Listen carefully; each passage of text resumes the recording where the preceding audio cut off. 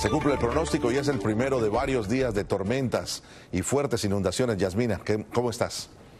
Hola, ¿qué tal Mario? Feliz martes para ti. Definitivamente un día de lluvias y tormentas y precisamente aproximadamente unos minutos atrás se emitió un aviso de inundaciones repentinas para el extremo noreste de Miami-Dade y también para el extremo sureste de Broward. Estará vigente hasta las 6 y 15 de la tarde. Esta humedad, esta humedad tropical continúa llegando a nuestra zona y por tanto la lluvia ha estado presente a lo largo de todo el día. Tormentas ha sido un ambiente que se ha ido deteriorando a medida que ha transcurrido el día. La vigilancia por inundación entró en vigencia a las 12 de la madrugada y va a mantenerse vigente hasta este próximo miércoles por la noche y con posibilidad de que se pueda extender. Esto significa que los acumulados para nosotros en la costa este estarían oscilando entre 2 hasta 6 pulgadas, mientras que en la costa oeste, pues en el área de Fort Myers, superando, como pueden ver, las 15 pulgadas. Definitivamente precaución a todos nuestros conductores que manejen con mucha precaución y definitivamente pues las temperaturas también han descendido más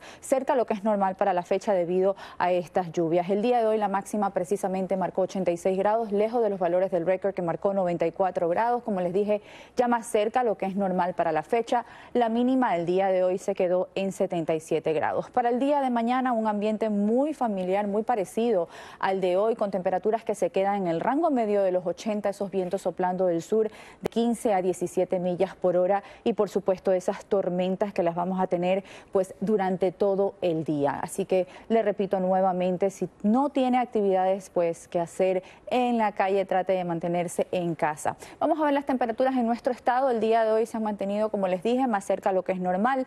Tampa marcó 87 grados, Orlando con 86 grados de lluvia, al igual que en Jacksonville, temperaturas que se quedaban en el rango medio de los 90 con una máxima de 93.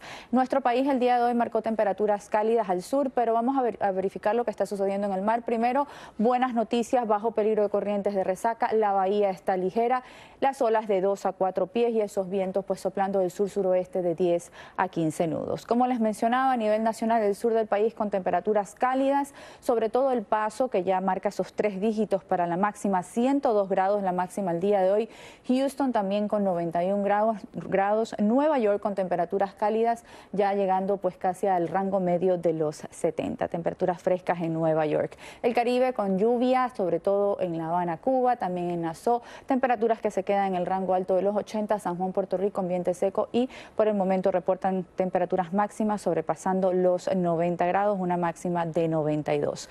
Regresando acá al sur de Florida, que nos depara el resto de la semana? Definitivamente la lluvia, las tormentas son las protagonistas y recuerde que esas temperaturas ya un poco más, menos cálidas diría yo, 85 grados y como pueden ver esa lluvia va a avanzar hasta el fin de semana así que precaución sobre todo en la carretera. Es todo por el momento con respecto al tiempo, pero nosotros continuamos con más noticias aquí en su Mega News. Mario.